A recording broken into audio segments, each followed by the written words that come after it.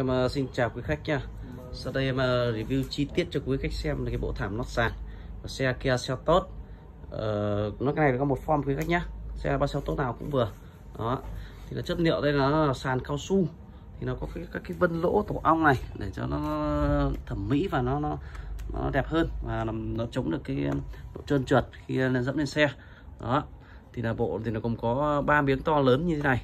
Đó hai hàng ghế trước và hai, và hai hàng ghế sau đó. Chất liệu thì bằng cao su quý khách nhé cao su. Nhìn rất là đẹp. Đây, đằng sau. Đằng sau là có các cái nó gọi là cái ờ, gai gai như này để chống trơn, chống trượt. Đó, nó tạo thành cái massage ờ, khi mà nắp lên xe. Đó. Đây thì là nó có chữ ờ, user for xe tốt, tức là dành riêng cho xe kia xe tốt. Đó. Địa chỉ bên em thì là 14 đồng nhân hai bà trưng, hà nội.